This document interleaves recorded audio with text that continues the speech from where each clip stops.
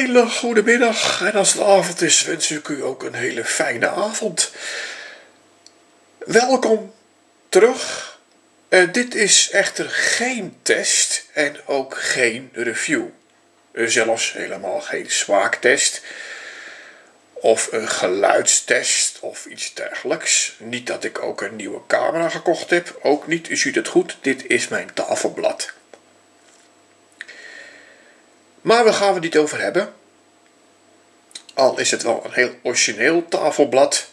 Uh, van een houtsoort gemaakt die we niet meer tegenkomen. Vroeger was dat trouwens heel normaal, deze houtsoort.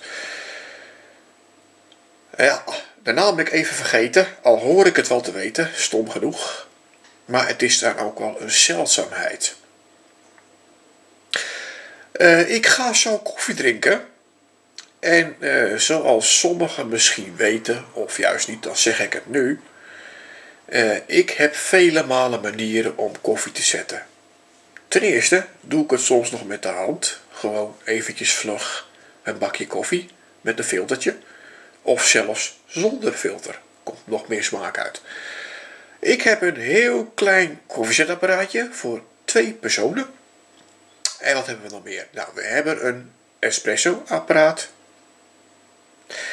We hebben de Nespresso apparaat en we hebben de Senseo. Maar er is er echter eentje, nog één, en weliswaar een hele mooie, hele antieke ook. Waar hebben we het dan over? Nou, we hebben het over een koffiemachine, of eigenlijk een koffiezetapparaat. Van er eentje die uh, vroeger gebruikt werd.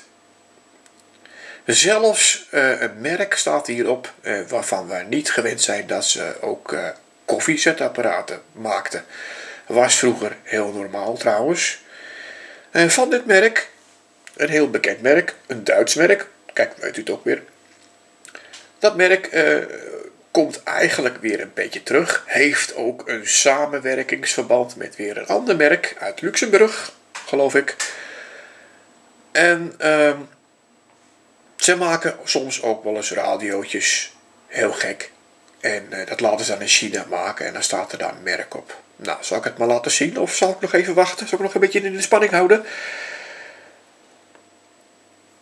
Uh, in verband dat uh,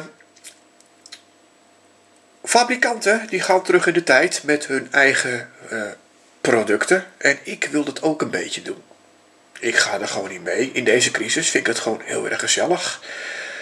Want koffiezitten was toen een hele belevenis. Nu doe je het even snel en zo snel mogelijk. Al heb je er hele mooie machines voor. Nou, ik laat maar even zien. Kijk, weet u nog? Kijk, en dat is het merk AEG laat je niet in de steek, was toen de slogan. En dat klopt, want deze doet het ook nog. Helemaal origineel. Dit is het waterreservoir van glas. Ook al heel erg uniek. Hier gaat de koffie in, zoveel of zo weinig mogelijk. En eh, nou, uiteraard, daar loopt het in. Uh, en dat is het. En ik denk dat ze ook een beetje de inspiratie vandaan hebben uit uh, de laboratorium bijvoorbeeld. Lijkt mij. Want daar lijkt het een beetje op, toch? Goed. Heeft het ook weer gezien, maar hoe werkt het? Nou, het werkt heel goed. Gewoon als een normale koffiezetapparaat. Uh, trouwens, ik ben nog even wezen kijken. Uh, hij is wel origineel. Uh, helemaal compleet ook. Maar ja, er zit toch een kleine beschadiging aan. Een beschadiging die u gelukkig niet ziet. Maar er zit een klein barsje in het glas aan de andere kant. Gebeurt verder niks mee. Hij zit nog helemaal in elkaar. Maar dat mag ook wel na ruim 40 jaar, toch? Ja. Maar goed, ik was in ieder geval even aan het googelen geweest. Kijken of Douwe Egberts er op de site misschien nog iets heb. Klopt inderdaad ook. Uh, die heeft een, soortgelijke machine. Ook een ouderwets look. Ik zal hem inmiddels aanzetten. Maar toch helaas anders. Dus ik moet het uh, toch ergens anders schuimen dan. Duurt even voordat het warm is. Maar daarna gaat het echt gebeuren.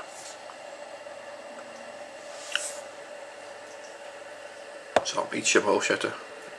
Kijk hoe zo mooi dat is. Hè? Dat is toch luxe, of niet soms? Er is toch een feestje om naar te kijken. Ja, daar gebeurt wat. Hè.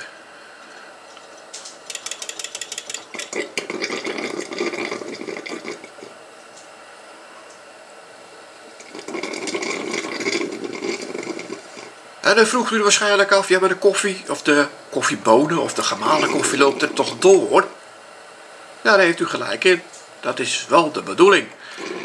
Nee hoor, het blijft gewoon uh, zitten, want er zit een, een filterrondje in.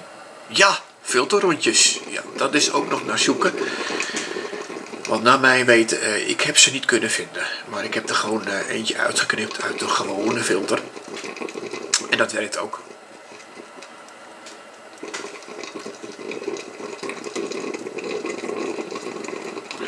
Dat is wel een hele aparte manier van koffiezitten, al lijkt het niet zo. Uh, het is een beetje een regen van koffie wat hier gebeurt. Er zit een, een verdeling in. Het is niet zomaar dat het aan één kant komt.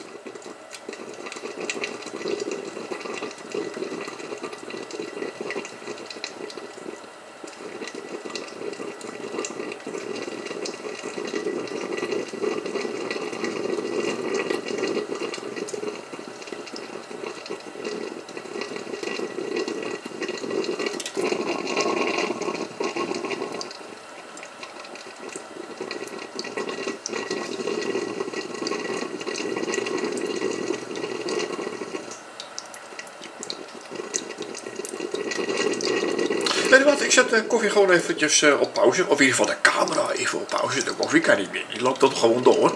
Dan hoeft u niet zo lang te wachten. Uh, ik ben toch nieuwsgierig naar de smaak. Ik zou zeggen, tot straks dan weer. En de koffie is klaar. Eindelijk. Nou ja, eindelijk. Het viel best wel mee. Het ging nog redelijk snel. Wat me wel opvalt, en dat wist ik dus niet, is dat laatste beetje water, dat laat hij staan. Waarschijnlijk uit veiligheid. Er zit nog een klein laagje water in. Zie je wel? Goed, koffiezet is gezet, dus de koffie. En dan ga ik eens kijken of ik het probeer, of het lukt om het in te schenken. Het is al een heel gedoe weer. Zal ik dit eens even afhalen, kijken of dat lukt. Ja. Zo.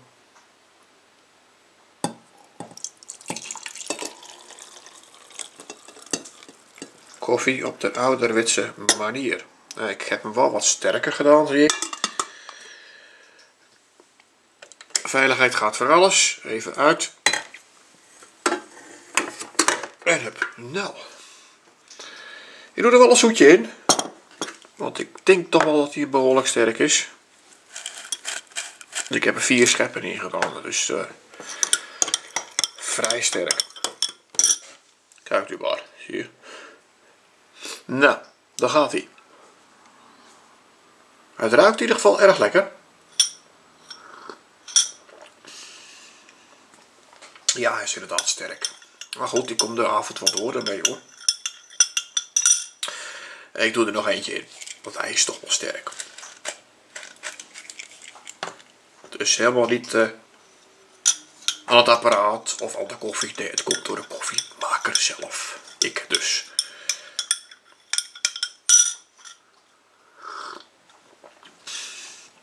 Ja, het is een, uh, een lekker pittig bakje. Gezellig toch, of niet soms. Ik wens u een uh, hele gezellige avond, of anders een fijne dag. En dank u wel voor het kijken. Dag.